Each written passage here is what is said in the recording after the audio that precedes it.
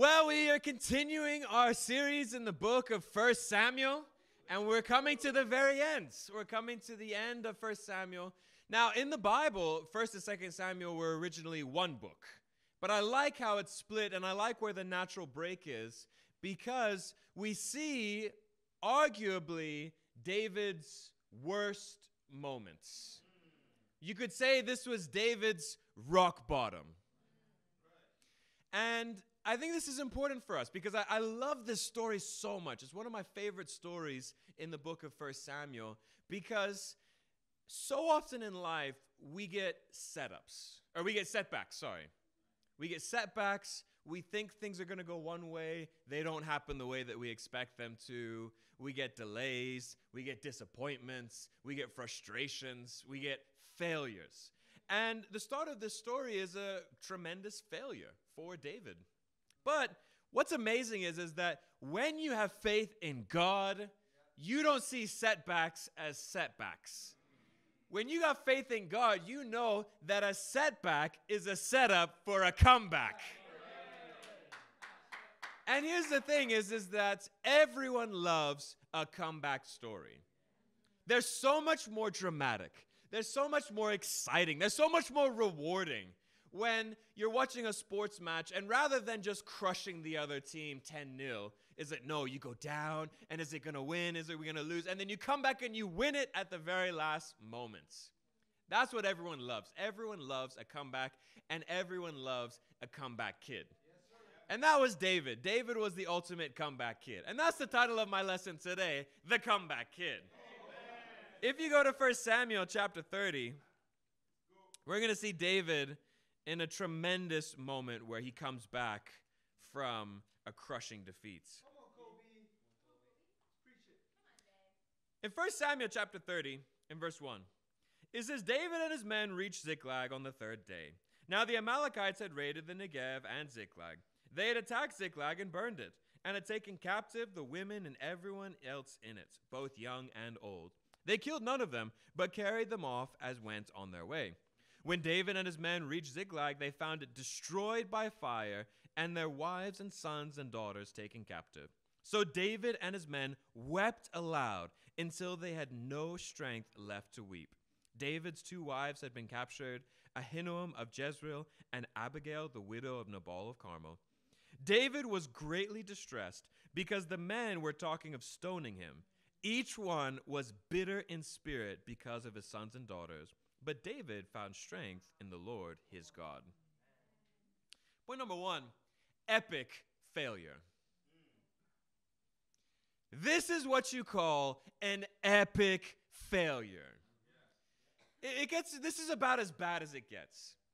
So David, he turns against his own people. He allies himself with the Philistines. Then he goes off to join the Philistine army to fight against his own people. His men are the greatest warriors in the land. And what happens? The Philistines don't want him in their army, they reject him. David has to leave humiliated. And so, like a dog with his tail between his legs, he leaves the Philistine army to go back home to his little village of Ziklag. And what happens when he gets there? It's burnt to the ground and all the women, all the children, they've been taken captive. This is pretty bad. This is a pretty epic failure.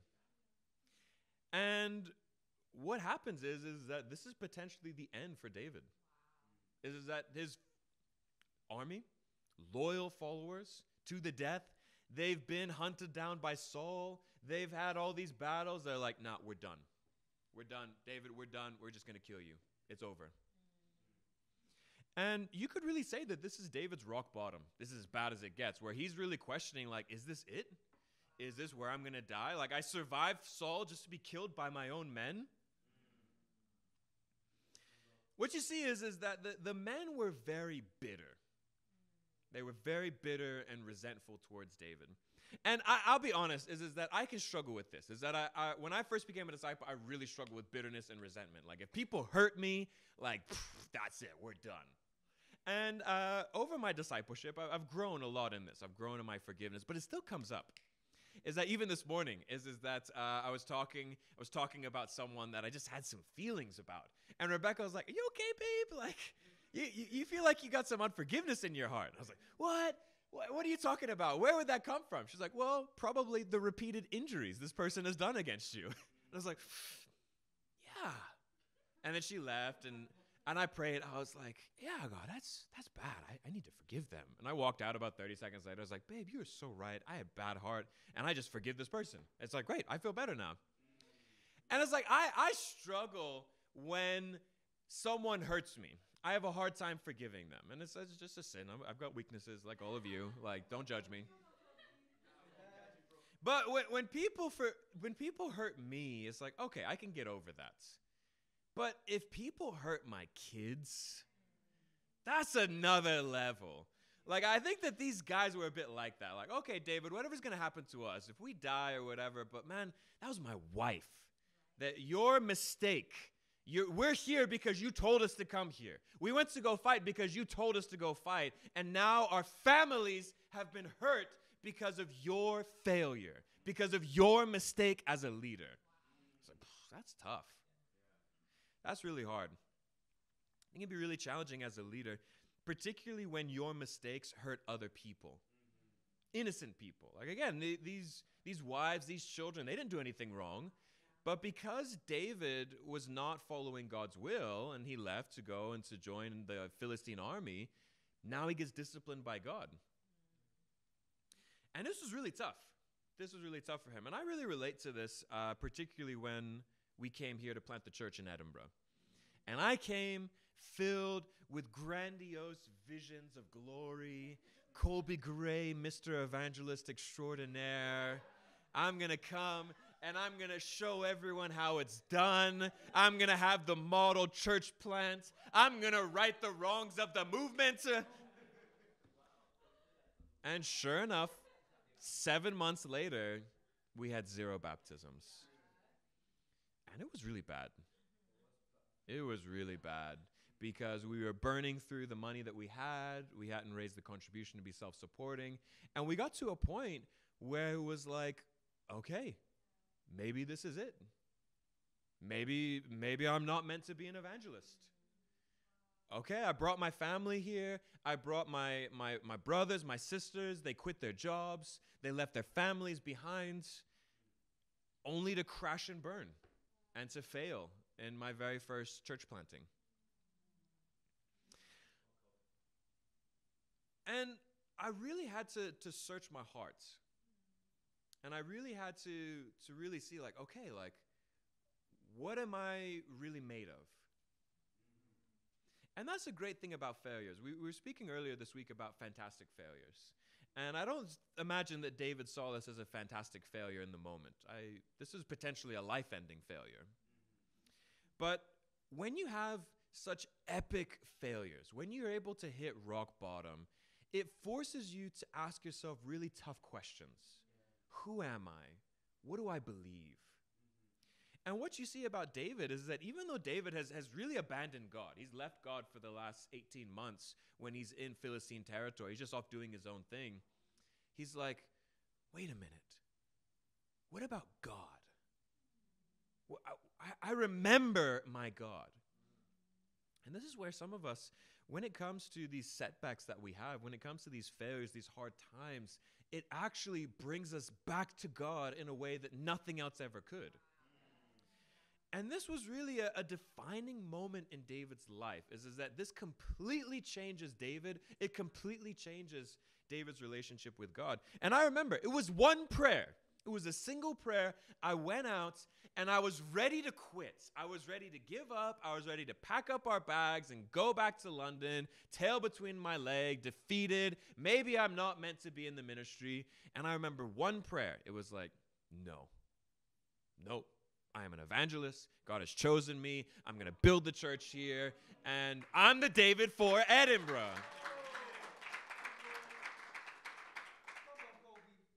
And just like David, I found strength in the Lord. This leads me to my second point. Where does your strength come from?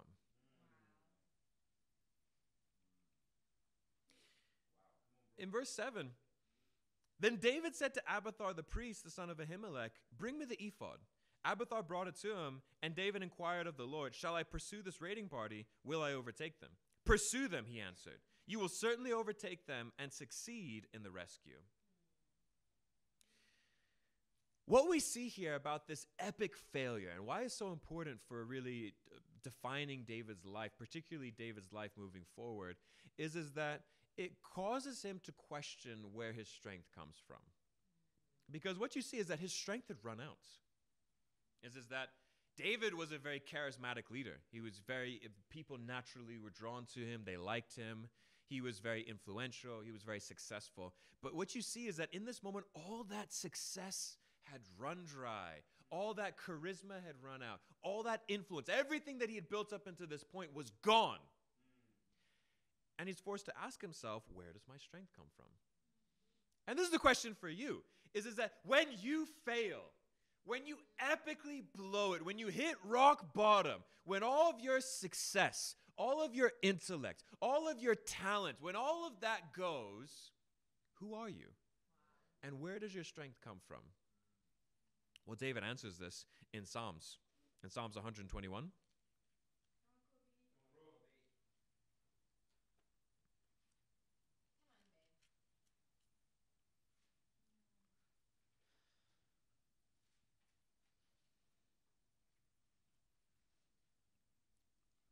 And Psalm 121 and verse 1, it says, I lift up my eyes to the mountains. Where does my help come from? My help comes from the Lord, the maker of heaven and earth.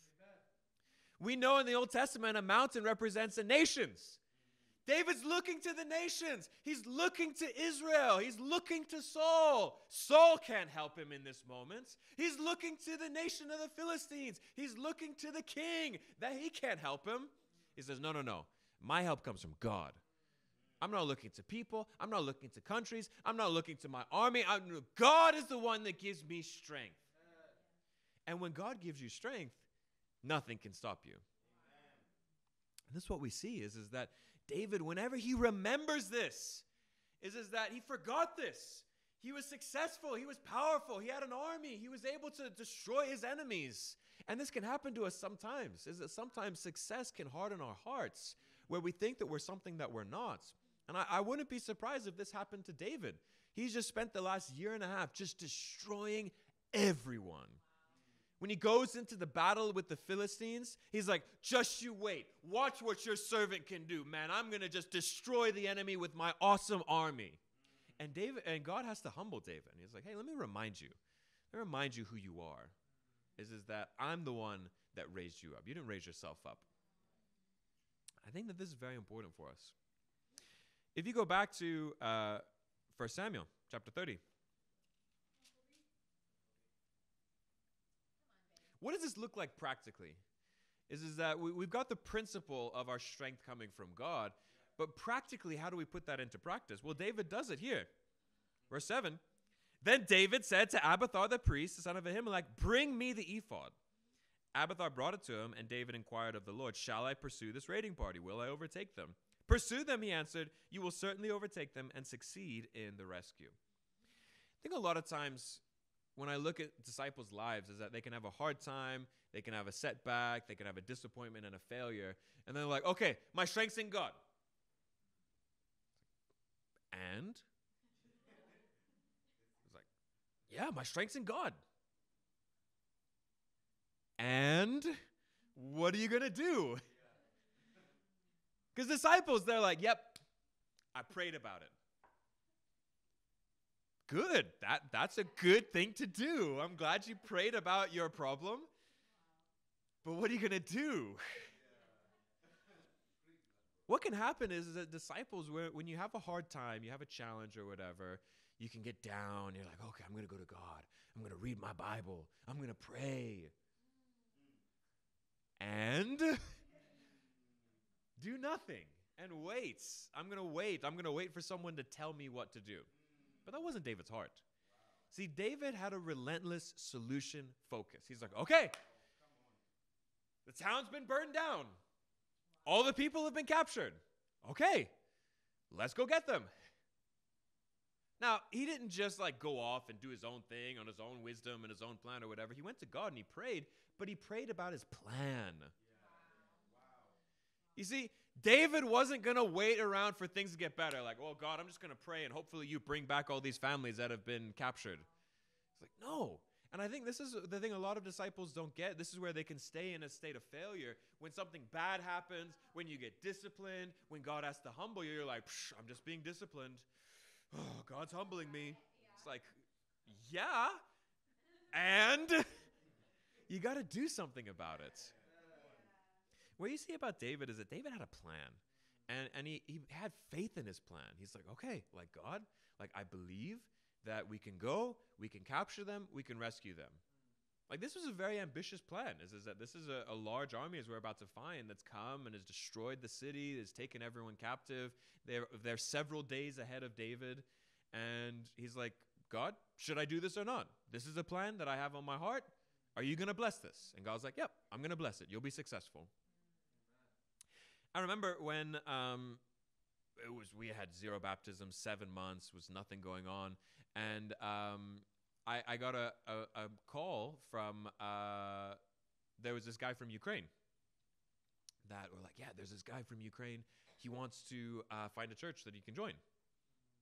And uh, it was he was like way out at the airport, and I remember thinking like, okay, if I travel out to the airport and I meet with him and we study the Bible and I come back, it's basically gonna take all day. And I was like, I really should be trying to get like a lot of Bible studies at this point. Because it was like literally the day after. So the day after I had my life changing prayer, then there was this like, we've got one Bible study. And I was like, okay, maybe this is the guy. And I remember praying, I was like, God, do you want me to go all the way out of Edinburgh to meet with this one guy? Like, is this? And I was like, God said yes. I was like, okay, I'm going to go out. And I remember thinking, and I, I went out with Serge, and I remember thinking, I was like, okay, we're going to go out and we're going to spend all day with this one guy and God is going to bless it and he's going to bring about a baptism. And I remember we went out and we met with this guy and he didn't speak any English and it was just me and Serge and Serge spoke to him all day in Russian and I was just sitting there like just praying. I was like, God, please let this guy get baptized. and he never got baptized. But on the way back, I got a message from a guy that was looking for a church and he's like, "Hey, I'm on your website and I want to find out how do I join your church. And two weeks later, Boaz got baptized on my birthday. And he was the first guy. God blessed it. It was God. I didn't do it, but I was going with a plan. I think this is really important for us as disciples is, is that um, God doesn't bless us when we get depressed. God doesn't bless us when we get passive, when we're just waiting for someone else to tell us what to do. We're waiting for someone else to fix our problems. That wasn't David. David had a relentless solution focus. He's like, okay, what do I do now? I've been disciplined. I've been humbled. My guys want to kill me. God, what should I do? Okay, I'm going to do this with faith, and I know that God is going to bless it. I want to challenge you. When you have setbacks in your life, don't get down.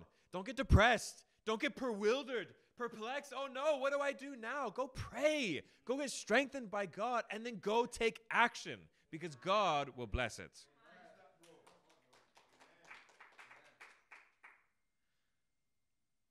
So David pursues the Amalekites. He finds one of the uh, Amalekite slaves, an Egyptian, speaks to him. The Egyptian takes him to the outside of the camp. Now, David's army had 600 people, and 200 of them stay behind. So David is going into this battle with 400 guys. That's important. We're going to see this in a minute. Verse 16.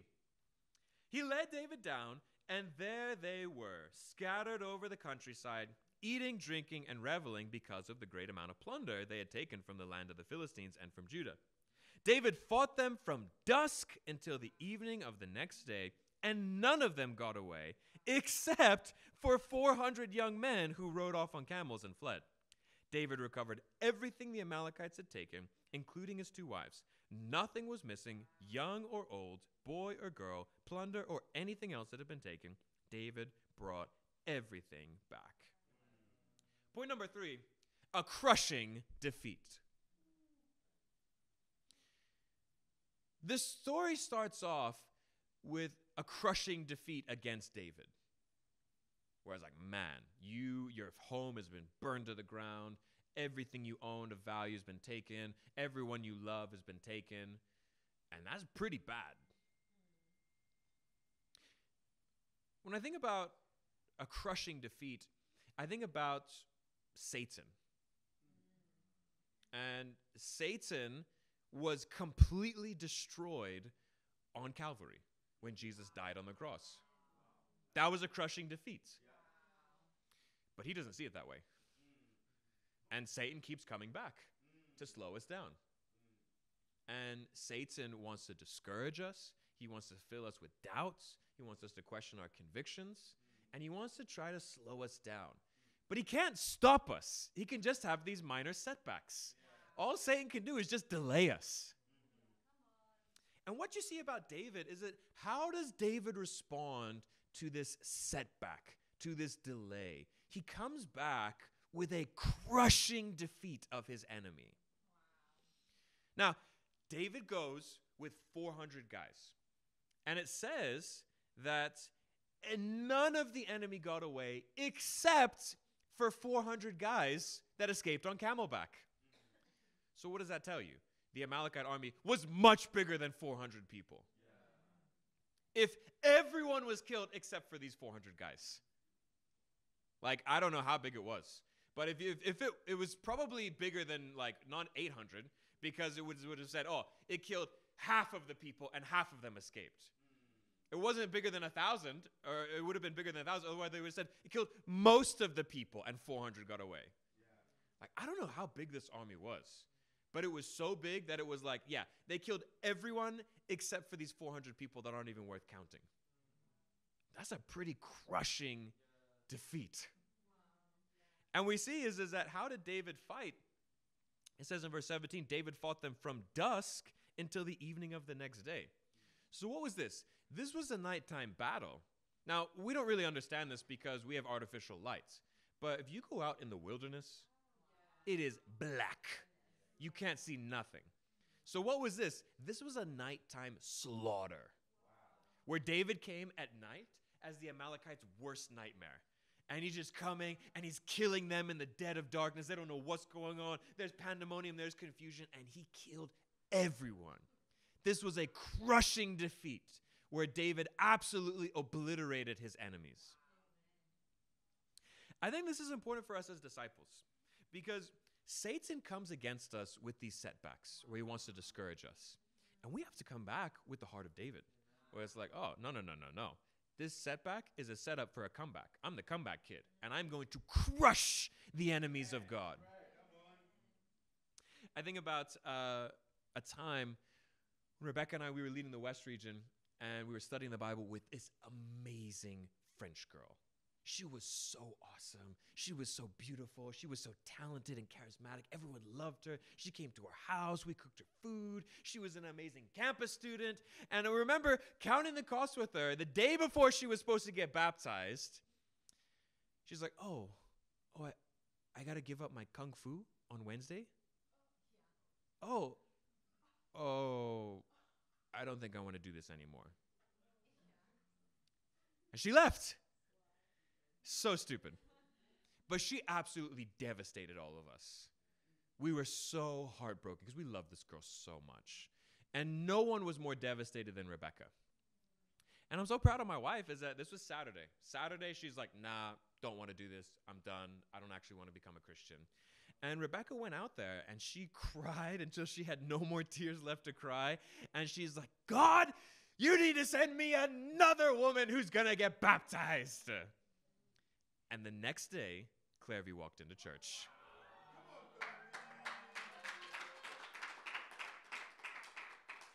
Now, I don't know about you, but that's a pretty crushing defeat of Satan. Where it's like, oh, you want to discourage me? There's this French girl that's supposed to get baptized and she leaves. That's fine. God's going to bring another French girl, a better French girl.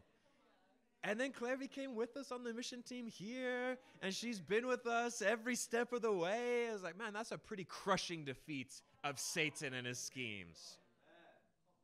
I remember when uh, again things were really challenging here. It was our first year here in Edinburgh, and I got an opportunity to go and to to meet with some a number of politicians in uh, the parliamentary building at uh, Holyrood. And I went there, and I was so insecure and so filled with fear, and I, I really messed up. It was pretty. It was a really like humiliating, epic failure, and I just felt so like just bad and weak and feeble. And I was like, oh man, this was a really good opportunity. I really could have really made some some great impact and I could have had some great contacts that would have really helped the church and wow, like that really is really disappointing. And I remember leaving because I, had to leave this meeting with all these uh, MPs to go to a Bible study. And I was like, okay, well, one thing I know how to do really well is study the Bible with people and I'm going to go and I'm going to crush this Bible study. I don't know who it is, but whoever it is, they're getting baptized. And I walked in and showed up, and that was the very first time that I met Jacob. And I was like, yeah, no, I'm an evangelist. I'm going to make a disciple. Whoever's getting whoever's this Bible study is, he's going to get baptized. And sure enough, Jacob got baptized.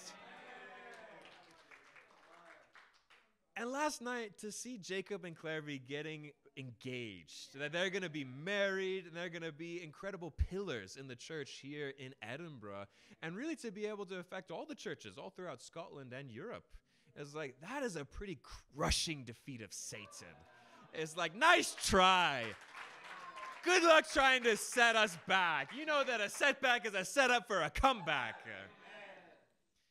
That's how we need to respond. Is that Satan cannot stop us. He can just delay us. He can just slow us down. But when we have these setbacks, when we have these disappointments, when we have these failures, this is how we need to respond. With the heart of David, we got to get strengthened by God. We got to be proactive with a plan, and we need to go back and we need to have a crushing victory where we destroy the armies of darkness by the power of our God. Is that we didn't come here to Edinburgh to take place, we came here to take over. And that's the spirit that we need to have. Is, is that we've had a phenomenal year this year. You look back at all the miracles, all the victories, all the great things that have happened, but we're going to go back. We're going to go down to London. We're going to have an incredible conference, and we're going to come back and we're going to have the best two months of the entire year. We're going to have the most fruitful two months of the entire year. And we're going to finish this year strong and we're to know okay this is this all the setbacks all the disappointments we've had this year have just been setups for the greatest comeback in the year of miracles. We're to have the best final part of this year and to god be all the glory